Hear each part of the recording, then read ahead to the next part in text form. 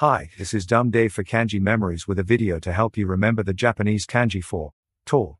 See kanjimemories.com for an introduction, or just follow along, and all will become clear. We start with the green kanji memories card.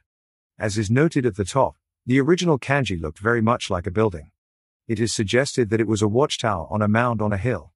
That will not help us draw the shape as it is now, but as will be explained, we can use some elements we already know to make it easier.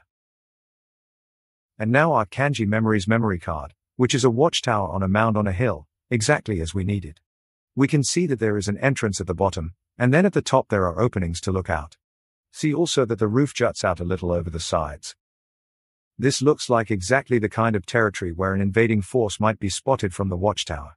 The taller you could build it, the better, even if that was expensive. We can put the two cards together, then look at the suggested association. This tall tower has two openings, one hidden under a box and one just under the lid.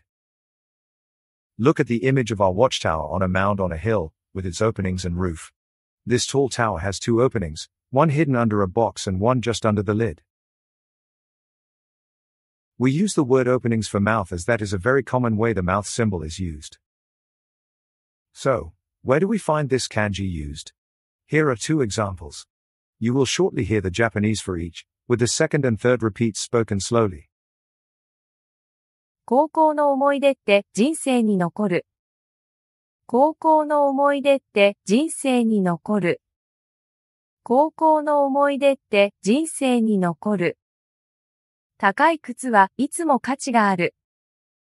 高い靴はいつも価値がある。高い靴はいつも価値がある。And that completes this Kanji Memories video.